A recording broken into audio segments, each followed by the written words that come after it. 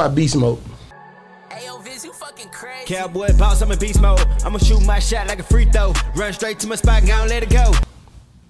Cowboy boss, I'm in Yes, beast sir. mode. Oh, you like that though? Yeah, we on Boss Talk 101. 101. Yeah, we gonna talk. So um, I, I do this stuff just off of my real life. You know what I'm saying? So whatever you hear me rapping about is what I'm doing in real life. Mm-hmm. And that's how I'm putting. My, I'm gonna paint the picture exactly how it's going. You know what I mean? Like from from the trail ride stuff with the fifty thousand dollar horse, like I was telling you about Bonnie Parker. Mm-hmm. I bought the horse for four thousand dollars at the end of the deal, but I sold her for like thirty. Mm-hmm. You know what I'm saying? So it wasn't that she was actually worth fifty thousand, but in my eyes, I felt she was a fifty thousand dollar horse. You know what I mean? Just like if, if you got a Frenchie or something, he might Right. not be but a twenty five hundred dollar dog, Mhm. but I want ten thousand for him. I got a ten thousand dollar Frenchie. You know what Exactly. I mean? It's the same thing with it. So like when I came with the music part of it, it's just like I'm embracing my lifestyle because I wasn't able to buy them horses. You know what I'm saying? I Mhm. used to see people going and buy horses five, ten thousand, fifteen thousand. I'm like, damn. So that's what made me start training them. You know they what not I'm saying? cheap at all. No, They're me- expensive. Let's talk about beast mode. Ayo, Viz, you fucking crazy. Cowboy boss, I'm in beast mode. I'ma shoot my shot like a free throw. Run straight to my spot, and gonna let it go. Cowboy boss, I'm a beast Yes, sir. mode. oh, you like that though? Yeah, yeah, yeah. I want to talk about it. So uh, that shoot there, it came just off of some raw stuff. My partner called me, he was like, "Hey man, you need a vi- video to that song." I was like, "Man, shit, just meet me at the barn." Heavy. I'm at the barn, you know what I'm saying? And shit, I had that Roan horse, and that's who I'm talking about in this song. You know what I'm saying? That LaRone motherfucker really get it on. Yeah. I hang with the greatest. It ain't no debating. Keep me a Dodge in heavy rotation. Hey. You know what I'm saying? Um, that right there, that was a a monument for me because like at that point in time, like Larry say, you know what I'm saying, I was trying to grow because I was in a dark place with music. You know what I'm saying? Like I was like, man, it, shit gonna work or do I just need to goddamn keep selling horses? You know what I mean? I think everybody's been everybody in Been music there, has been there, done that, Yeah. where they doubted because it wasn't going fast enough. Usually, that's what usually causes it. Right. You know, you feel like you're giving out your all, but it just ain't your dream not happening. Yeah. I mean, it was happening, but when you sitting when you sitting back and like you don't really have that motion that you was having, you know what I'm saying? Like cause, cause the shows or this or that. My fan base ain't even really in Texas. Mm. Where's your fan base? All over.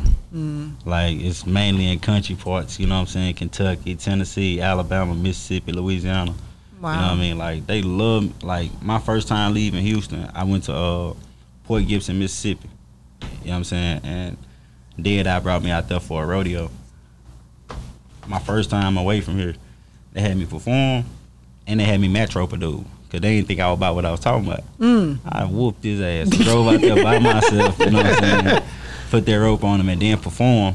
Uh, but like as far as fan base, man, like I, I've been I've been able to reach out in Brazil. I've been in New Zealand, like a lot of different. Wow. When I look at my Apple playlist and Spotify, I'm in 51 different countries Mm-hmm. in That's all heavy. 50 states. You know what I mean? No promotion. Rodeo cowboy. Let's talk about it. I'm a rodeo cowboy stuck in my waist, slinging big bills of hay in the barn all day. I've been getting drunk, rolling up high in the range, big cowboy. Ah man, I'm gonna be honest with you. I heard the Shaboozey track. Hill straight covered in grease. I'm a lone ass cowboy, stuck in my jeans. Bring a baby up. Okay. And uh, I was like, it's dope, you know what I'm saying? But it ain't real cowboy shit, you know what Mhm. I'm saying? Like it, it was kind of like the Lil Nas X type deal to me. I got the horses in the bag. Horse stock is attached. You know what Yeah. I'm saying? Yeah. so yeah. uh, ain't no gimmick with me. So anytime I hear something, I'm gonna step on it the real way and the cowboy way. You know what I'm saying? Like, I'm a rodeo cowboy. You know what I'm saying? That was like, I wanted to show the world who I am and what I'm doing. You know what I mean? Because everybody was saying that I needed to commercialize stuff. So I was like, all right, I'm gonna go this way with it. You know what I mean? Instead of mm-hmm. saying bitch, hoe, and this and that. You know what I'm saying? Just being a raw meat, uncut. Like I'm gonna go ahead and just step it up just a snap. You know what I mean? And that's how Rodeo Cowboy came about. What about cowboy dream? And that I've been on the road till the sun come up. Cowboy, I love my old school country truck. Let's keep them going. That's for all the young niggas in the hood. You know what I'm saying? Like I got a I got a squad of young niggas back home that all they listen to is Jay Brown. You know what I'm mm-hmm. saying? They riding through the hood on their horses, riding in their trucks. You know what I'm saying? Second, third gen Dodges. That's how we ride down south. You know what I'm saying? Yeah, yeah.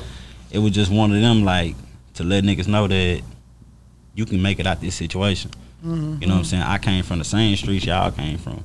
Only difference is I grind every day to make it to where I'm trying to go. You know what I'm saying? I never give up, and that's part of Cowboys. Like never giving up. Yeah, we on Boss Talk 101. 101. Yeah, we gon' talk.